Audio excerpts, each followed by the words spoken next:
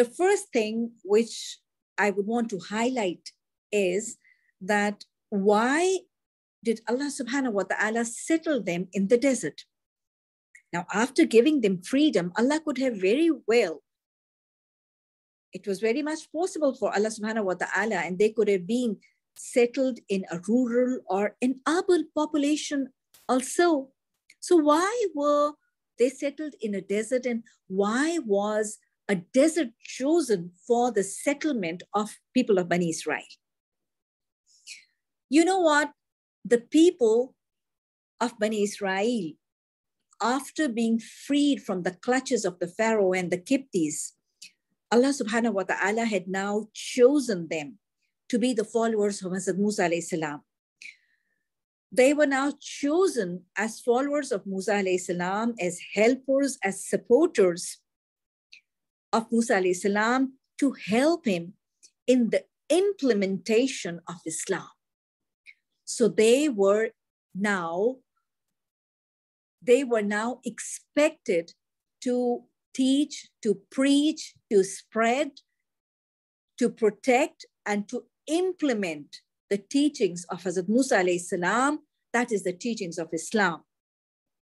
So they were picked out and they were chosen for this pious deed. And we also know that people who, who are the settlers of the desert, they are tough, they are hardy, they are resilient, they are used to a simple life, and they are closer to nature. And because of their being close to nature, they, they very readily accept the teachings of Islam, as Islam is a nature, is a religion of nature. So, to facilitate their mission, facilitate the mission which they were going to be handed over the mission of the teaching and the preaching and the protection and the implementation of Islam. This mission was going to be handed over to them. They were they were settled in the desert so that they became tough, they became hardy, they became strong, they became resilient, they became close to nature, and they became used to a simple manner of life. But once they were settled in the desert, Allah subhanahu wa ta'ala helped them and supported them and blessed them. Blessed them with what? In the desert, the main issue is of the scorching sun and the heat and the unbearably high temperature. So Allah subhanahu wa ta'ala ordered, and there used to be a cloud, a cloud which used to stay in the sky above their settlement, and they had shade and there was coolness, and they were prevented and they were protected from the scorching sun and the heat of the unbearable heat of the desert so that they were comfortable. And then in the desert, since there is no agriculture, there's no trees, there's no plantation, so food and gathering food becomes an issue. So there, Allah subhanahu wa ta'ala in the desert, Allah subhanahu wa ta'ala said, what? وَأَنزَلْنَا عَلَيْكُمُ الْمَنَّ وَالسَّلْوَى Allah subhanahu wa ta'ala gave them man and salwa. Man was what? Man was a liquid which used to fall from the sky at night like the dewdrops. And they used to use it as what? They used to fill it in containers and uh, then they used to drink it as a very delicious and a very energizing fluid. So it was a delicious energy drink. That is one purpose this man fulfilled. And secondly, we learn that this man, as dew drops, it used to fall at night. And wherever it used to fall, these drops used to settle down and the drops used to dry. And when these drops used to dry, they used to make small round granules and they used to collect them and they used to grind them and they used to use these grinded granules of man as flour. And they used to use it as a staple food, you know. And uh, salwa was like small little birds, very tiny little birds used to come in flocks. And this used to provide energy and protein and a very delicious source of food for them. Now, the question now arises is that why did Allah subhanahu wa ta'ala provide them with man and salwa? Number one, to set them free from the hassle of earning, to set them free from the hardships of earning and fending and fetching and providing, because they had a bigger, they had been assigned a very big mission in their life. They had been given and assigned a very high target in their life. So they could only implement, implement Islam if they were freed from all these hassles. So remember, the lesson learned is what? People who want to plan to work for preaching and teaching and implementation of Islam, they would need to leave these worldly commitments and hassles to some extent. Too many worldly involvements and too many worldly commitments and hassles that will that will make dawa and preaching and teaching and spreading the words of Allah it will make that mission slightly difficult and next we also need to understand why always, why always man and salwa? Allah could have given them wearable foods. Allah could have given them wearable dishes. Allah the Razik could have provided them with sometimes pigeons and sometimes one bird and sometimes the other bird meat and sometimes anything else. Wearable foods could have been provided as well. By what? Why? Why only one option always and always? You know why? To train the team to train the team with the mission of teaching and preaching simplicity of meal, to get them used to simple, easy, convenient eating habits, simple and easy, convenient meals.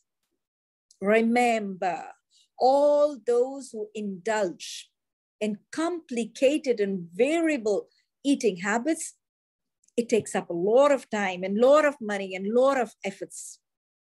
You know, there are two types of people people who just eat to live. So, this category of people who are just eating to live, who eat to gain energy, to keep themselves going, you just eat for this purpose. And then there are people who just live to eat. The only purpose of living is they want to eat, they want to enjoy. They want to enjoy food and meals. They just live to eat. If the state of affairs is living to eat, then such people will fail to achieve high targets and high missions and goals in life. But for all those, for all those whose life is eating, eating, and eating, all the time, all the energy and money will be used up for eating.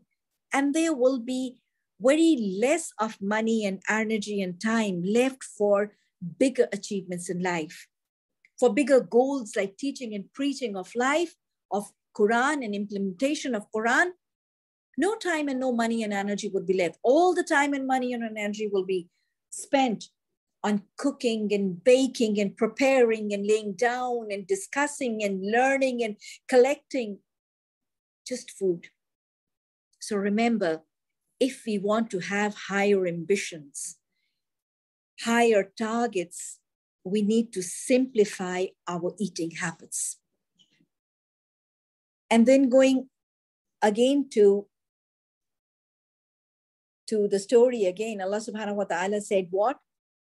Kulu washrabu wala fil arzi mufsidin. That you can eat and you can drink, but do what? Do not cause corruption in the earth. What was this? When Bani Israel were provided with man and salwa, they were ordered. وَلَا تَحْسَوْا فِي الْأَرْضِ مُفْتَدِينَ was what? Allah subhanahu wa ta'ala told them that you will be blessed with man and salwa daily, every day, enough for your needs. But they were stopped for doing certain things while consuming this man and salwa. They were stopped for collecting more taking and collecting more than their own requirement and own share. Take as much as you want, eat as much as you want, and don't collect and gather more than what you need or what you want. Number one. Secondly, don't snatch from the weak. Thirdly, they were ordered not to collect and hoard it. But these people of Bani Israel, as we can keep on gathering from the story, they were disobedient, always disobedient. You know what they did here? The people, amongst the people of Bani Israel, the young men, the strong, young, youthful men, they used to do what? They used to snatch and gather the man and salwa much, much more and beyond their needs and requirements. And they used to actually snatch the share of the women and the children and the old and the sick, leaving them deprived and leaving them hungry. And when the hungry and the deprived used to ask them, they used to keep on asking and begging but these hard hearted, selfish, cruel snatchers, they used to hoard it up and they used to stock it down and they did not allow them to take this food. And the food used to rot and used to go bad.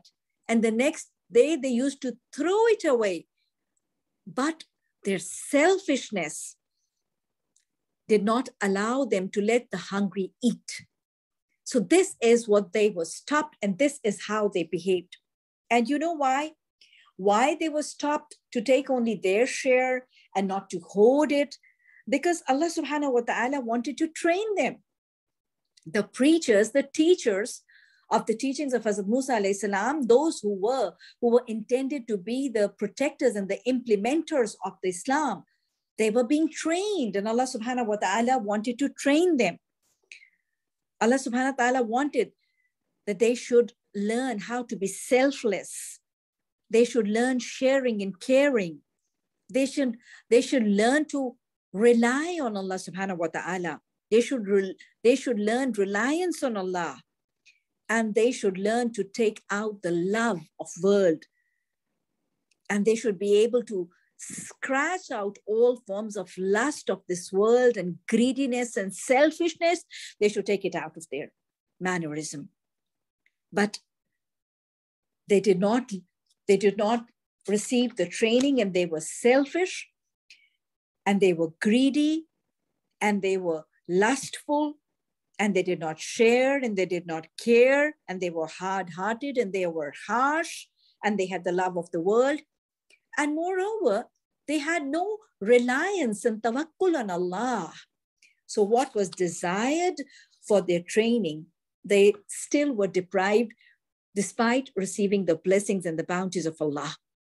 Their behavior was totally against what they were needed and desired to behave like. And the nation of Bani Israel was a group of disobedient people. They were stubborn, they were obstinate, they were selfish, they were greedy, they were lustful and then they were punished. Allahumma la taj'alna minhum. Allah subhanahu wa ta'ala, help us all, protect us all, save us all from stubbornness and obstinacy, from disobedience and transgression, from selfishness and greediness, from lust of money and the lust of the worldly desires. Allah help us to be selfless to be caring, to be sharing, to be obedient. ربنا لا تزغ قلوبنا بعد إذ هديتنا وهب لنا من لدنك الرحمة إنك أنت الوهاب سبحانك اللهم وبحمدك نشهد أن لا إله إلا أنت نستغفرك ونتوب إليك سبحان ربك رب العزة عما يصفون وسلام على المرسلين والحمد لله رب العالمين. آمين. ثم آمين.